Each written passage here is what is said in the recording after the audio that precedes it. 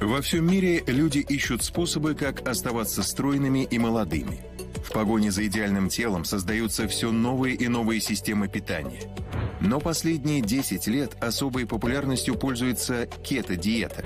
Меню диеты выглядит как настоящая находка, ведь в ее основе наши любимые жирные продукты, а некоторые специалисты уверяют, что благодаря кето-диете можно вылечить многие заболевания. Действительно ли это так? Выясним прямо сейчас.